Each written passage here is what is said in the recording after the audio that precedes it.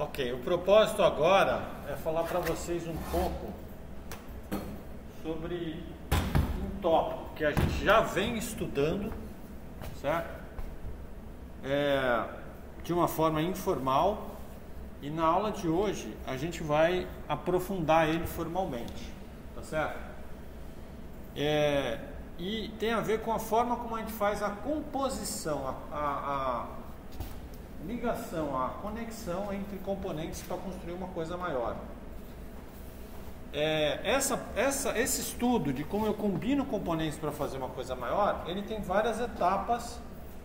E o primeiro conceito que a gente vai estudar agora é o conceito de se você faz esse tipo de construção orientada a dados ou orientada a conexões. Tá certo? Então, vamos entender qual é a raiz do problema. Tá? É, eu quero imaginar com vocês que existem três componentes, certo? E esses três componentes, eles estão interagindo entre eles para fazer um, um pedido de compra. Pedido e compra, né? É, e vocês podem inclusive imaginar uma arquitetura Dataflow, que o pedido ele vai navegando entre os componentes. Para fazer de uma forma simples, eu vou imaginar que existe um componente que preenche o pedido, um outro componente que aprova o pedido e um outro componente que emite a fatura ou a nota fiscal. Tá certo? Bom, como eu estou usando aquele modelo que a gente já estudou de Dataflow, eu estou usando uma interface comum né, entre os vários estágios. Tá? É, a gente tinha estudado isso na, na aula passada. Né? A gente chamou isso de quê? Vocês lembram como é que a gente chama essa interface comum? Que é simétrica? Hã? Ah, tem, existe o pull e push, mas isso é uma outra questão, que o pull e o push é se o cara da frente vai pedir o outro vai entregar ou se ele vai jogar para frente, né? Mas existe uma outra questão aí. Do jeito que está organizado aí, ele está pull ou push? Vocês conseguem deduzir? Pull é o que para você? Puxar. Puxar. Você está imaginando que o approve order vai pedir para o fill order e vai receber de volta, é isso?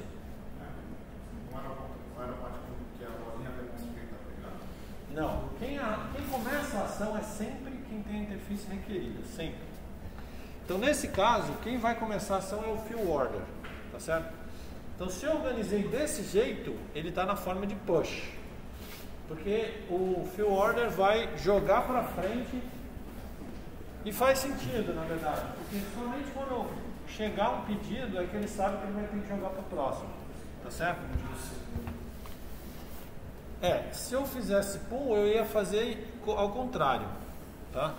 Bom, é bom que vocês estão afiados nisso aí. Tá, mas tem uma outra coisa. A ideia dessa interface simétrica, né? Que o que eu tenho de um lado eu entrego do outro, eu chamei de interface o que? Vocês lembram? Ninguém lembra? Não? Era a interface pivô. Alguém falou pivô, tá certo. É isso aí. É a ideia de uma interface comum, não é? Que eu vou usar para os componentes se comunicarem. Bom, vamos imaginar que o que está transitando de um estágio para o outro é um pedido, certo? Vou imaginar. Eu tenho aqui o desenho de um possível pedido. E ele está transitando nesse Dataflow. Certo? É, inicialmente, e, e a gente vai aprofundar isso, mas inicialmente eu vou simplificar bastante esse pedido, imaginando que tem um conjunto de três atributos. Ele é bem simples e aí vocês vão daqui a pouco trabalhar mais nisso. Então, é, a gente está imaginando que aqui a gente tem uma, uma, uma abordagem orientada à conexão. Existe uma conexão, uma interface requerida, uma interface provida. Vocês devem se lembrar, quando eu falei de conexão, eu falei que eu ofereço um conjunto de operações e o cara que tem interface requerida chama essa operação, certo? E essa operação ela vai ter uma interface, tá certo? Então, por exemplo, eu poderia imaginar que o cara que tem interface provida, ele tem um método. Lembrem, eu estou usando push, então esse cara vai mandar para frente. Né? Então, esse cara que tem interface da direita, por exemplo, ele tem um método send order, que eu vou chamar toda vez que eu quiser mandar um pedido para ele. Tá? Então, para simplificar muito, eu vou imaginar três campos aí, para simplificar. É claro que um pedido tinha que ter muito mais. A gente vai trabalhar daqui a pouco nisso. Mas para simplificar muito, eu vou imaginar que existe o número do pedido, a data dele e qual é o valor total que vai ser pago por aquele pedido. Imagina que tem só isso, por enquanto, tá certo? Bacana. Então eu estou imaginando que se a minha interação é orientada à conexão, eu estou imaginando que existe uma API onde eu faço uma solicitação, eu vou ter parâmetros onde eu informo para o cara do lado de lá dados sobre o meu pedido. Cada parâmetro vai ser um dado que eu estou informando para aquele pedido. Tá certo? É bacana. Só que o que acontece e o que se observa, e a gente vai começar a explorar isso agora, é que na prática um pedido, ele é uma coisa complexa, tá certo? E tem dois problemas. Quem é que pode imaginar dois problemas que usar essa abordagem aqui?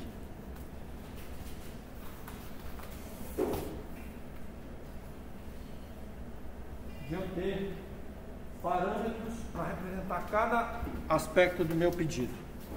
Eu quero dois problemas, duas limitações dessa abordagem.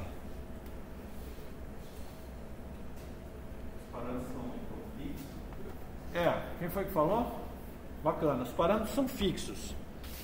Então isso é meio complicado, porque se eu quiser evoluir o meu pedido, acrescentar coisas, eu teria que sair mexendo nessas interfaces o tempo todo. Isso é uma das, uma das questões. Qual é a outra coisa?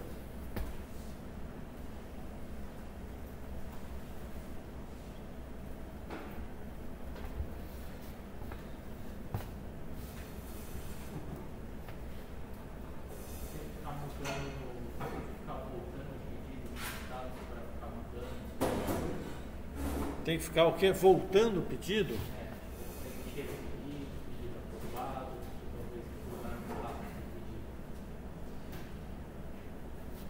Pode ser, quer dizer, se eu estou imaginando que eu tenho um método, ele, ter, ele poderia voltar, mas ele poderia voltar só um status também. Eu não sei se isso seria um problema, quer dizer, depende de como você desenha a sua interface, tá certo?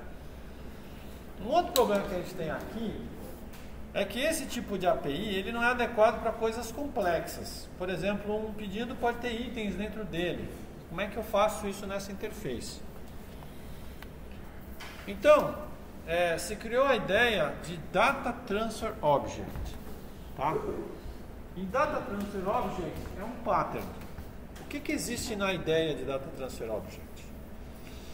Ele é um objeto que carrega dados entre processos para reduzir o número de chamadas de métodos. Então a ideia básica é o seguinte: ao invés de fazer uma interface né, cheia de, de parâmetros, eu vou criar um tipo de dados e aí ele está representado em um ML que eu vou chamar de Data Transfer Object, certo? Esse tipo de dados vai empacotar nele tudo que eu preciso para a execução do serviço. Tá? E a minha interface entre os componentes, ao invés de ter uma porção de parâmetros, ele vai ter um parâmetro só, que é esse objeto do tipo DTO. Ou seja, eu agora vou empacotar um objeto tudo que eu quero e eu vou passando esse objeto para frente. E eu esqueço aquela ideia de ter uma interface cheia de campos. Todo mundo entendeu essa mudança que eu fiz aqui? Tá.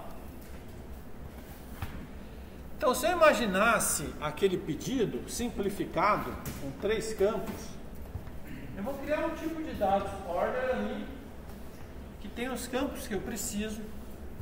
E esse método send order, ao invés de ter vários campos, ele vai ter um campo só, que é tipo order, certo? Então eu vou passando para frente pedido, sem é, me preocupar agora em colocar nos atributos cada detalhe. Tá? Então, agora eu tenho esse tipo de dados, que é um tipo de dados complexo, e eu dou um send order, mandando o pedido inteiro para frente. Certo? Tudo bem? Eu estou evoluindo passo a passo. Agora eu quero que vocês façam esse exercício aí. Eu vou dar um tempo para vocês. Eu quero que vocês pensem o seguinte. Eu simplifiquei pra caramba esse pedido, tá certo? Na prática, esse pedido é mais complexo, tá? Então eu queria que você escrevesse um modelo um ML para representar o pedido. Mas eu não quero que você represente tudo que você está vendo aí na tela, não. Só aquelas coisas que vocês achar principais. Se você tiver múltiplos níveis, em cada nível representa uns três campos ali, tá? É uma simplificação, tá? É para vocês fazerem agora em papel para vocês entregarem, tá, gente?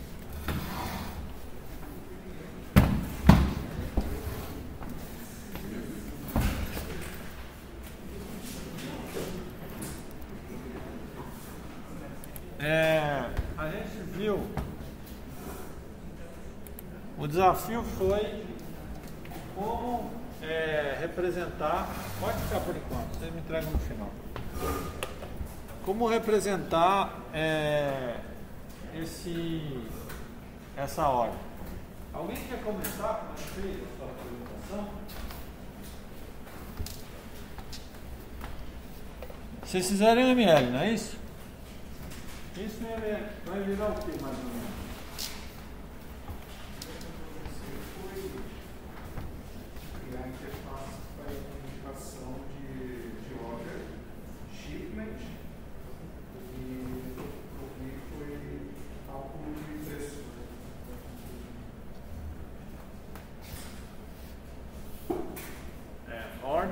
seria o pedido, que mais?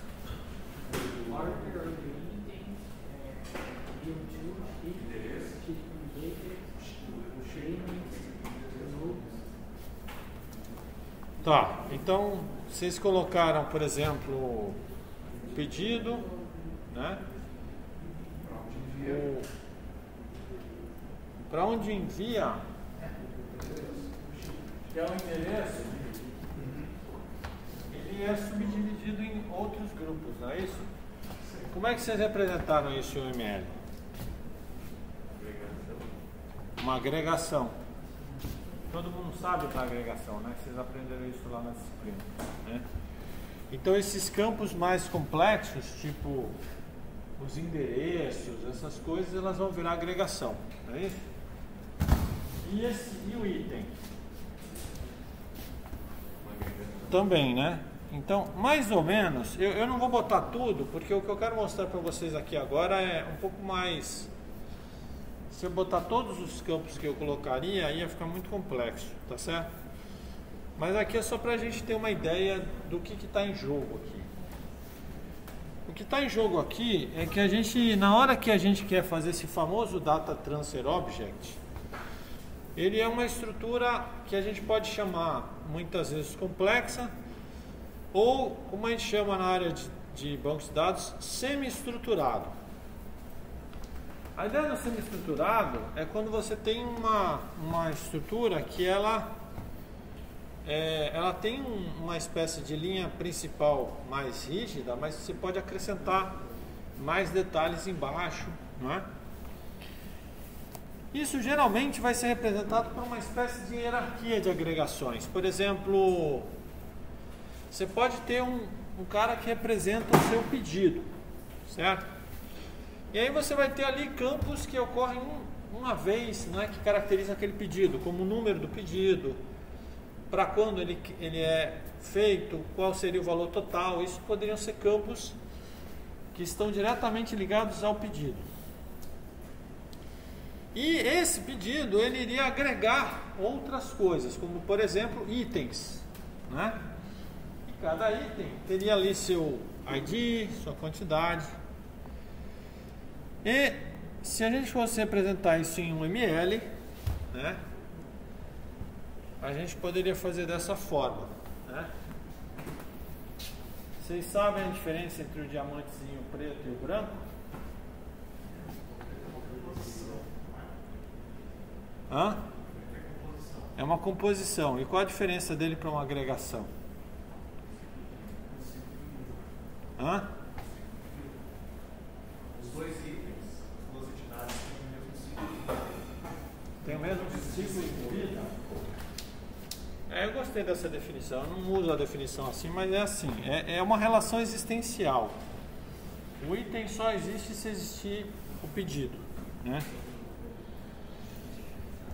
Então, é, nesse caso, eu estou representando, e isso é uma das coisas que diferencia você ter um DTO, né, que você não consegue fazer numa interface mais simples, é que você consegue construir essas coisas mais complexas com a forma de um documento, com a forma de uma coisa hierárquica. E essa coisa mais complexa você pode ir passando para frente. Tem mais algumas coisas interessantes que eu vou mostrar para vocês. Que, na verdade, cada etapa do processo pode ir modificando esse cara, tá? Tá, então, é bacana. Quando você sai dessa modelagem UML e você vai para o mundo real, ou seja, você diz, André, Bem, legal que você mostrou, bacana. Só que agora eu quero pensar o seguinte: a aplicação real, como é que ela faz para transferir esse objeto? Certo? Se eu se eu estiver imaginando aplicações em memória usando conexões, eu posso imaginar que isso é um objeto Java, por exemplo. Tá? Eu posso mapear isso para um objeto Java, está de boa. Mas o mais comum né, é que esse tipo de arquitetura ele vai ter objetos que vão transitar de, em, muitas vezes em plataformas distribuídas, serviços que estão em lugares diferentes. Daqui a, mais para frente a gente vai falar de arquitetura de serviços. Então você precisa ter algum tipo de representação que é independente da linguagem que você está usando. Tá certo? No fundo, o que eu vou ter, no final das contas, é uma hierarquia. Tá certo? É, porque, é por isso que muita gente considera essa abordagem orientada a documentos. Tá? Por quê? Porque essa hierarquia ela se assemelha a um documento. Então é como se o Data Transfer Object ele fosse um documento que tem todos os dados que você quer e que você vai passando de componente para componente. Tá certo? Então você poderia ter na raiz do, meu, do seu, da sua hierarquia ali um pedido com os campos dele, depois você pode ter um, uma coleção de itens que tem vários itens, que tem os campos dele e assim por diante. Tá, bacana. Então, essa hierarquia, né, que é uma espécie de uma concretização, representa o que a gente fez nesse modelo UML aqui. Tá? É, daí, agora, eu vou falar um pouco sobre o JSON, tá? Então, eu vou começar uma introdução, na verdade, peraí. Eu acho que eu esqueci de colocar aqui. Eu depois vou dar um update aí nos slides de vocês.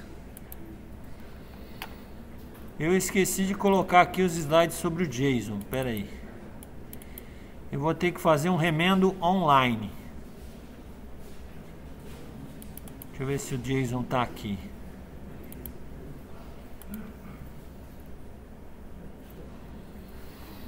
Não. Peraí, deixa eu pausar. Desculpe, no processo de reorganização dos slides, faltou uma parte. Quando a gente pensa em pegar alguma coisa que está na representação interna, na memória, como por exemplo, um objeto que está lá representado em UML, tá? E a gente quer transformar isso num formato de dados que, por exemplo, como eu vou mostrar para vocês, eles podem trafegar por um barramento, pela web, etc. A gente chama isso um processo de é, serialização. O que é a serialização? A ideia da serialização é que eu vou pegar qualquer coisa que está ali em memória, vou transformar isso num fluxo de dados e esse fluxo de dados ele vai se tornar muitas vezes independente da minha linguagem, da minha plataforma e vai servir para eu transitar isso por um, um, ambiente que é independente de linguagem. A gente vai usar muito serialização aqui, porque é muito comum e é uma tendência muito forte quando a gente trabalha com componentes que a gente comece a não é, é, a desvincular de uma linguagem de programação específica e que a gente possa fazer com que os dados transitem independente dessa linguagem. E a forma que está sendo mais usada no mundo se chama JSON. Todo mundo deve, já deve ter ouvido falar. JavaScript Object Notation. Na verdade, existe uma história anterior ao JSON que se der tempo eu vou contar. Que o W3C ele tentou criar um padrão que ele chamou de SOAP, que era baseado em XML. Só que esse padrão ele era muito pesado, carregado, cheio de coisa. Né? Até hoje eu acho que o SOAP ainda é usado em algumas plataformas. Eu não sei ao certo quantas. A última especificação é muito antiga do SOAP, então eu não sei exatamente se o SOAP ainda está sendo usado. Eu sei que o JSON, ele, ele basicamente tomou conta do pedaço, tá certo? E é por isso que eu pulei as outras coisas e estou indo direto para o JSON. Então o JSON virou um padrão de intercâmbio de, de objetos. Como muita coisa no JavaScript, ele, ele, ele seguiu um caminho tortuoso e talvez não muito deliberadamente projetado, tá certo? Foi acontecendo, tá?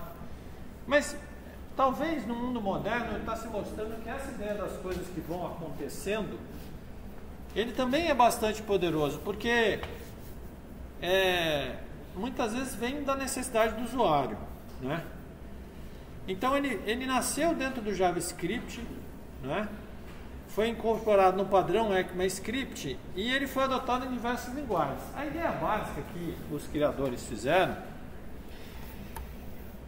é que eles queriam criar uma notação inline de objetos em JavaScript, mas que fosse muito leve, muito simples, que tivesse o mínimo necessário.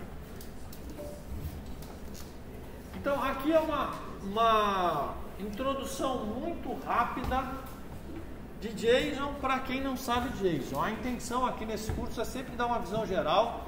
Eu não vou dar um curso profundo de JSON, tá certo? Mas o JSON, ele funciona, tem um pedaço que está meio cortado ali, não sei se vocês estão vendo, né? Mas um objeto vazio é um abre-chaves, fecha-chaves. É um objeto que não tem nada. Tá? Agora imagina que você quer um objeto que tem um atributo nome cujo nome é Asdrubal e a idade é 25. Então em JSON seria representado assim, ó, abre chaves, sempre tem o nome do campo, dois pontos, o valor, vírgula. Nome do campo, dois pontos, o valor. O nome do campo, entre aspas, preferencialmente, né?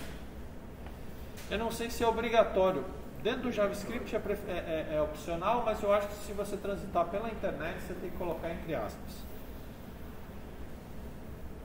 E o valor, se for string, tem que ser entre aspas, se for numérico, pode ser sem aspas. Né? E aí alguém pode dizer assim, mas André, cadê o tipo Cadê não sei o quê? Cadê mil coisas? Não tem. Não é? Então o JSON é uma coisa muito interessante porque ele nasceu de um, uma tendência moderna que tem se, tem se estabelecido fortemente, né? contrário a toda uma geração anterior, certo?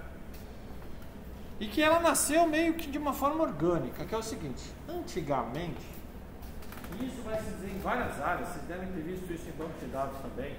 Né?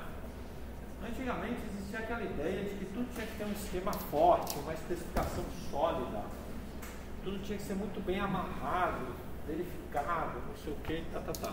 Né?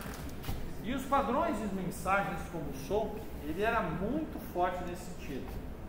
Para você fazer uma mensagem, você tinha que ter um esquema, você tinha tipos de dados, você tinha várias coisas envolvidas na mensagem que tornavam é, um processamento bastante robusto, bastante seguro.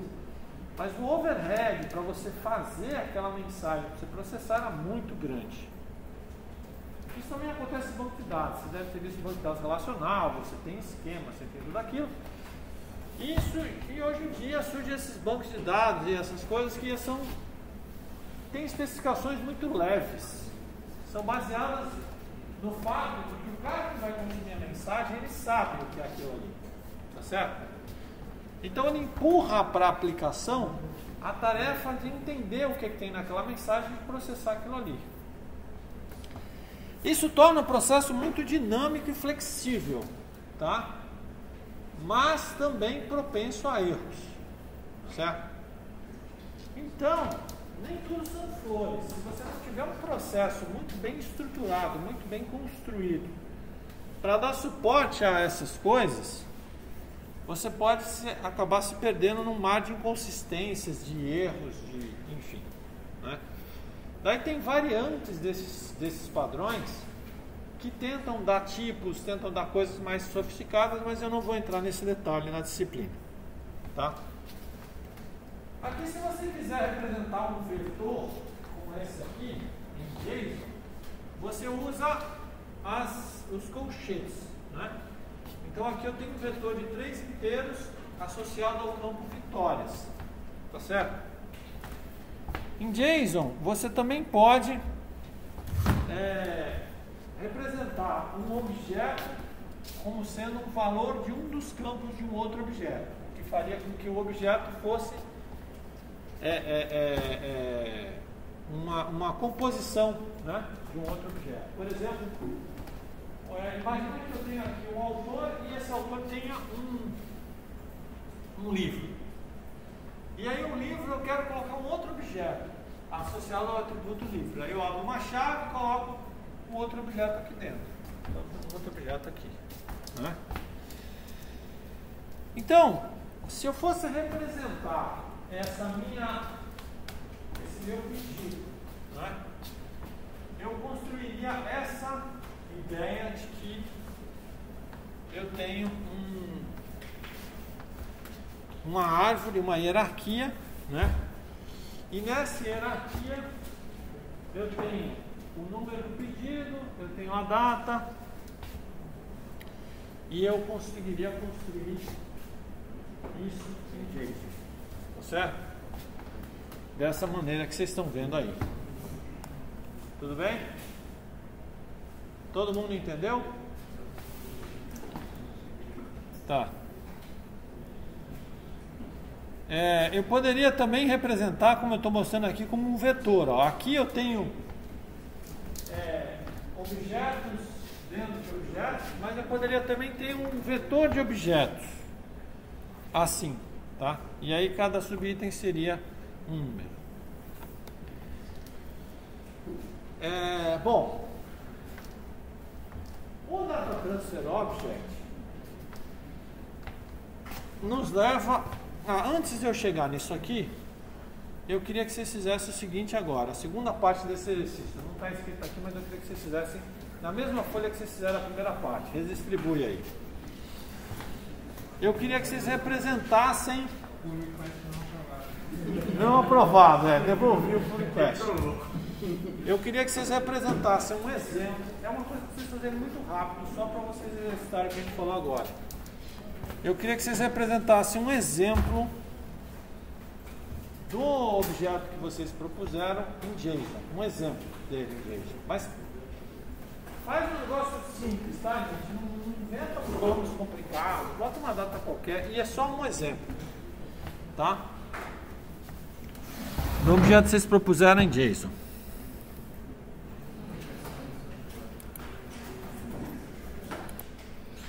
Então vamos lá. É...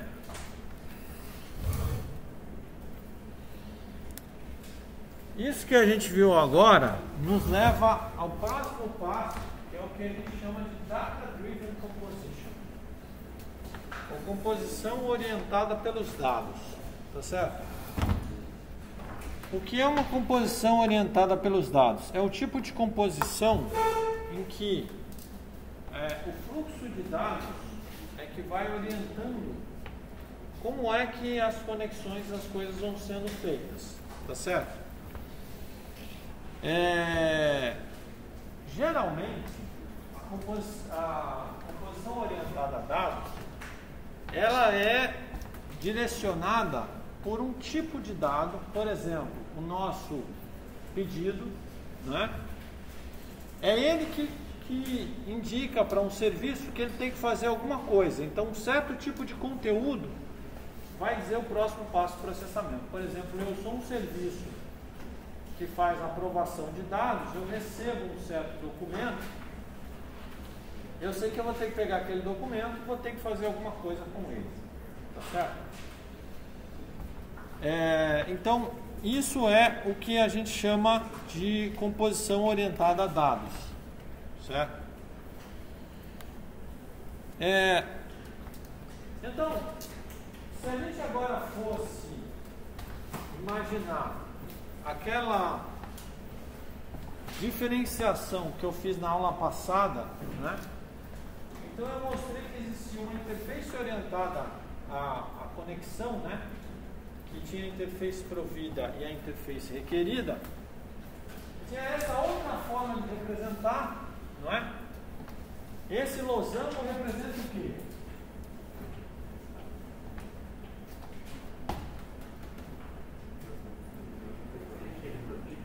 Hã?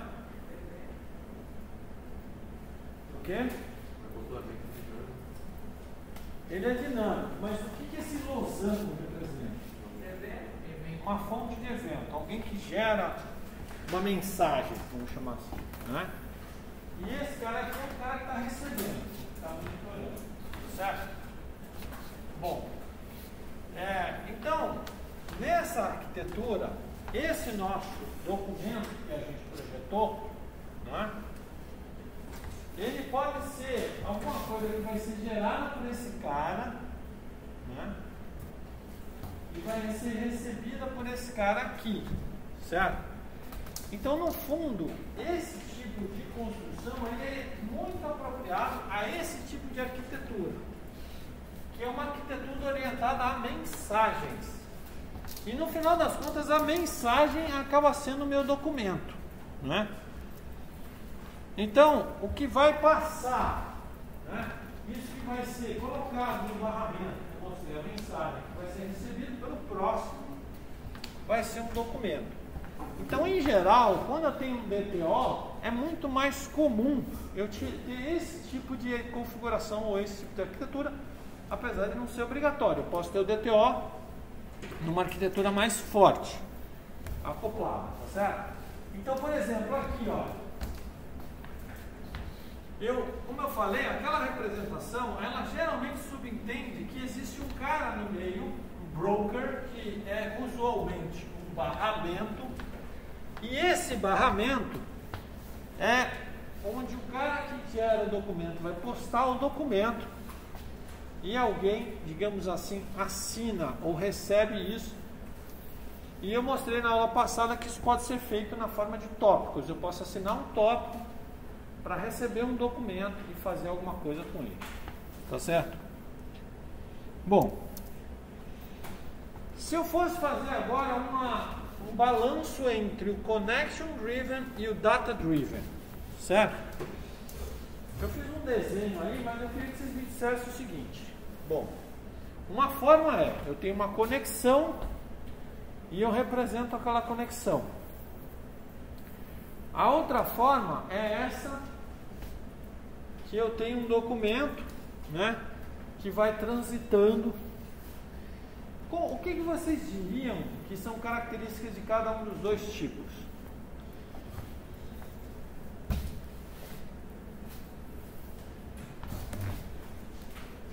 Eu dei umas, tem umas mensagens aí que são umas dicas do que vocês poderiam falar.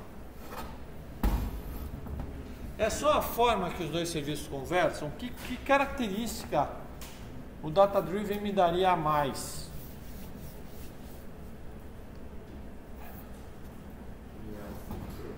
Hã? Ele é assíncrono. Isso é uma característica sim. É, em geral, bom, se você estiver usando ele numa arquitetura de, de mensagens, né? Ele pode ser assíncrono. O que mais?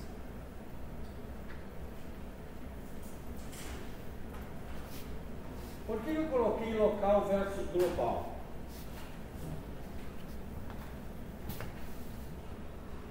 Alguém consegue imaginar?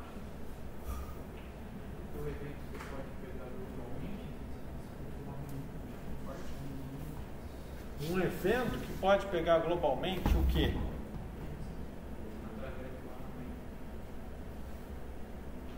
Tá, mas existe uma coisa a mais aí.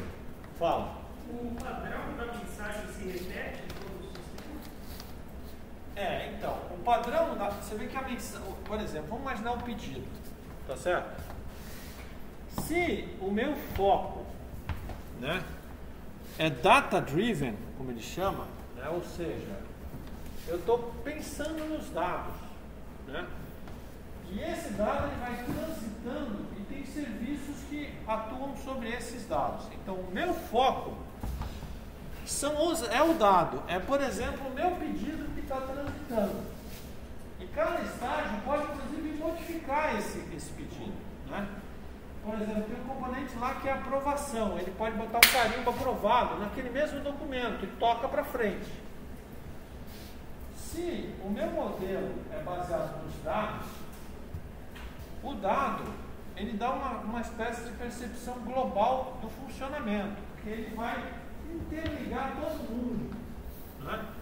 Eu posso ter um fluxo grande que alguma coisa vai transitar de uma ponta para outra, que é esse documento, por exemplo.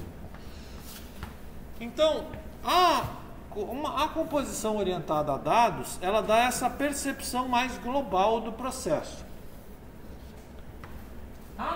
A orientada à conexão, ela é mais local. Local em que sentido?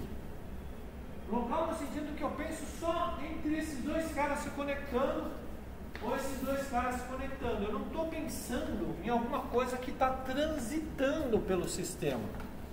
Tá certo? Eu estou pensando mais em como aqueles dois caras ali estão conversando. Isso é uma conexão. Tá? Então, é, é importante vocês observarem que quando você decide por um ou por outro, você está fazendo uma opção filosófica, de uma certa maneira. Né? Porque você está pensando exatamente na forma, o que, que você está querendo. Muitas vezes você quer uma coisa só local mesmo. Tá? Por exemplo, eu tenho um serviço de, do correio que dado um CEP, ele me dá o nome da rua, por. Esse tipo de serviço ele pode ser orientado à conexão, porque ele é uma coisa local. Eu só quero pedir para o correio, nome da rua, e o correio me dá. E acabou. Não estou querendo transitar, nem, não estou nada. Estou querendo solicitar um serviço e ele faz. Acabou ali.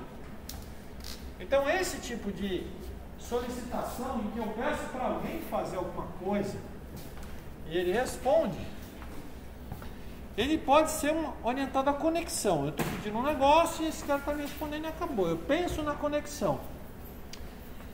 Já quando eu tenho alguma coisa que esses caras se conectam, mas tem alguma coisa que está transitando entre eles, eu tenho que pensar nessa ideia de dados, né? de ter um documento, de centrar o foco nesse documento e pensar como é que ele transita no sistema.